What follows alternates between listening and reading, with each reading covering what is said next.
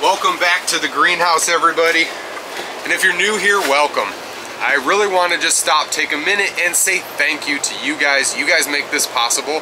We started this YouTube channel just kind of sharing. We didn't know what to expect. So we've got a lot of people on board now since the start of this channel here. So it's very cool to see you guys liking our content, just going back and forth on ideas. I've learned a lot from you guys out there. So this is a very cool platform to be able to share and to be able to gain knowledge as well as exchange knowledge. So with all of you guys on board today, I just want to break down the water lines for our compost heating system, our Jean Pain compost heating system. Now, if that sounds interesting and you haven't subscribed yet, please consider subscribing to the channel. Let's get on with this video. So today marks the start of our Jean Pain compost heater because we are starting to put all of the systems together. It was just a bunch of pieces with the dismantling of last winter's compost heater finally complete we dispersed everything from it, which was 10 tons. The breakdown was about 1 to 2 tons, so we probably ended up with a little over 8 tons of broken down material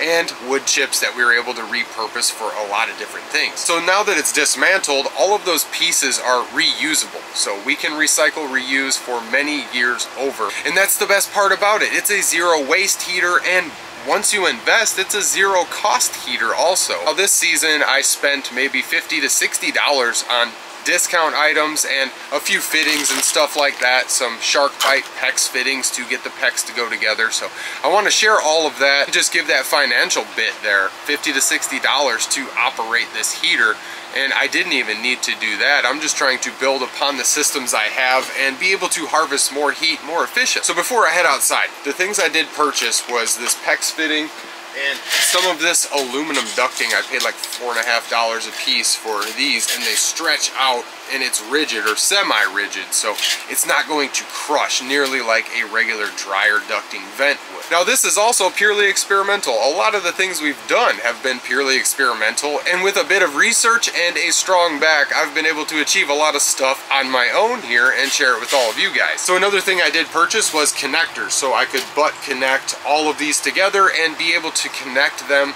to our 4 inch drain tile. We're going to use our drain tile as the long transfer medium which we're going to wrap in insulation that is for a later video. But the metal pieces are what is going to be for transferring heat. I really think that the metal ducting inside will pick up more heat and transfer it a little bit better than all of our drain tiles. So the last thing that we actually got was a 55 gallon drum and that was absolutely free. trying to get the camera to focus here. So we picked up this drum, we paid $10 for that one and there was another one that had like a scratch or a dent on it and I got it for free. And we've got this one that is completely going to be engulfed in compost. So there's no need, it is super windy. There's no need for painting this or doing anything else with this. We simply came by and we filled it up with water here and we got rain, a heavy rain. So we got a little bit of soy oil, but this is just soybean oil. And this drum is physically warm actually, just from sitting in the sun. There goes that good old thermal mass. So now that we've got our barrel set up, full of water and a little bit of residual soybean oil, which isn't gonna hurt anything next year when we clean it out again. So we're gonna jump right into wrapping the PEX around this and running our lines inside. I put it on boards. I got it up about an inch and a half off the ground and there's air underneath and that is going to provide better insulation than being on the flat, hard mud. Even with a huge pile, I still don't want to lose that geothermal heat. I want a nice blanket of all of these wood chips to be underneath the pile of compost. So we've just got our drum going in, we've got those aluminum pipes, and we've got this PEX tubing. That is it. It's just going to be encased in compost.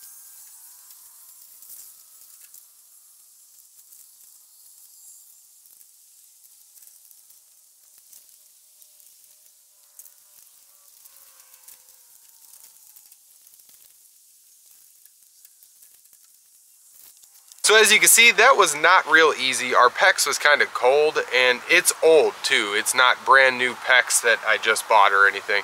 This is like three years old, four years old or something. So we've got this PEX. I should have put it in the greenhouse to warm it up and make it a little more pliable. But I did get that wrapped around and I can tighten it up a little bit. It's pretty tight on there. It's not falling off or too loose or anything. I may take some wire and wrap it over the top and just kind of put pieces in between each segment and wrap the wire up. And doing this one person, I had to take the PEX ends over there and just basically stick them under a brick to be able to keep it nice and level so I could get a good grip on it and pull it tight and then put the brick on so they didn't come down and it didn't loosen up on itself. Once it sits in this position long enough, it will want to retain that position. It'll just have like a memory of it. So we don't have to worry about this popping off or anything like that. I may pound the stakes back in because I couldn't work with the stakes. I just couldn't get it in there. If I had a nice pliable, softer rubber hose or something, it would be a lot easier with a material like that. But this PEX is super durable and I like using it because it's able to be recycled over and over.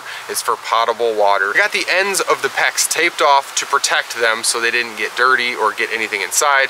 I do have to clean the gunk off the ends before I attach them together and I will show that process. But first I've got to dig out where our lines transferred through. I buried it in to keep rodents, raccoons, possums from just going right in. It's like a little doggy door where I had dug out. So let's get into that and then we'll run our lines inside.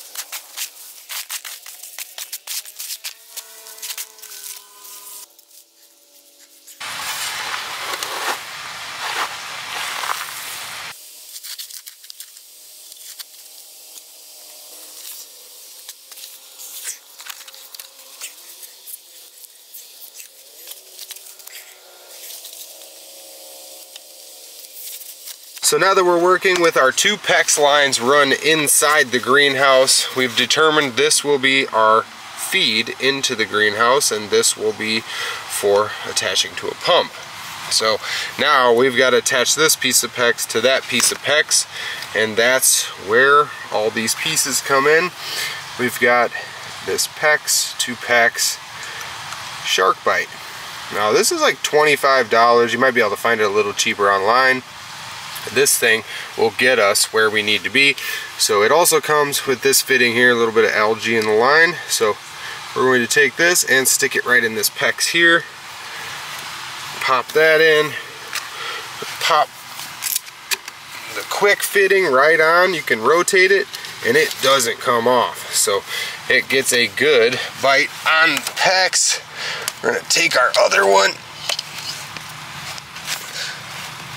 So now that we've got our two PEX lines attached, this is going to flow from the compost heater right through all the way in and it will go down the entirety of the greenhouse. You can see it. You can see it back here all the way through, all the way back up. And then this is where it dumps back into our overflow. I mean, we've got our overflow. We're just trying to keep it covered so we don't get a whole bunch of algae growth while the sun was still strong here. So I created myself this piece here. Now this end is kind of flared because we had this attached to a pump and it had a ridged nipple on the end or a ridged barb so it was going to fit and hold and grab right on. Now this is how we were achieving a downsized flow. Show this here. So this was a SharkBite fitting downsized to uh, maybe one quarter inch copper with a compression fitting on the end of there. So this was a homemade piece where I just had another compression fitting to get to the copper. This compression fitting was to get to the copper that was in our pile, so that's how we attached our copper to itself. So now all I have to do is attach my pump.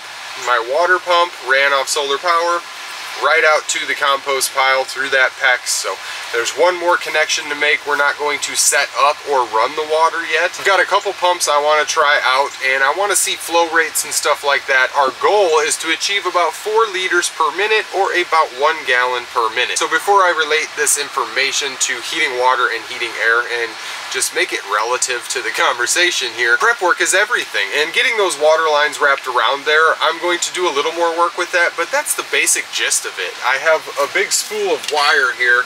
Now I can take this real thick gauge wire and I can just wrap each piece together and then segment them one, two inches apart and stagger them down and just kind of weave it together.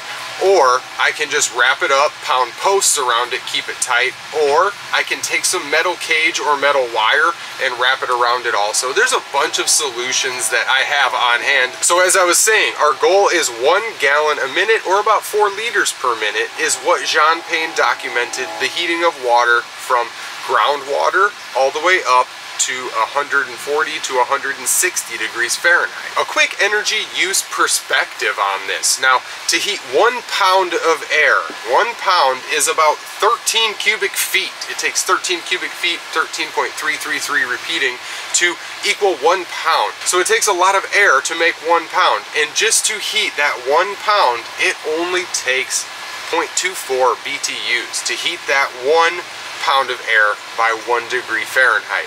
Now let's relate that to water. Now to heat one pound of water by one degree Fahrenheit, it takes one BTU. That's what the British thermal unit or BTU is based off of.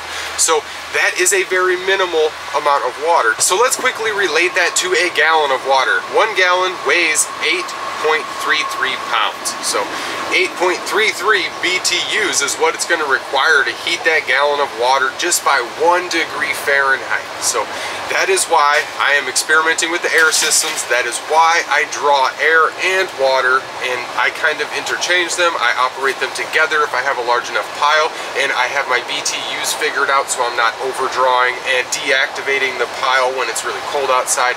There's a whole lot that goes into this. So stay tuned for all of the updates on this. I kind of want to break it down piece by piece by piece. So we got our water lines ran around our thermal mass barrel for the center of the compost pile and we ran our lines in. We quick connected the PEX to PEX and now everything is ran. All we've got left to do is hook up our pump and then we will be able to push water out of this exit line into our overflow tank here. So we're gonna run our air lines separately. I can hear a tractor out there spreading stuff. So we're gonna run our air lines separately in a separate video. We're going to insulate all of our transfer lines. We're going to build our pile after we get everything set up outside. We can really get to starting all of these heat transfer systems I'm talking about. So before this video gets too long, I wanna thank you guys for watching. Any questions, reach out. Thank you to all the thousands of subscribers. But I'd like to thank you guys again, and I will see you in the next video.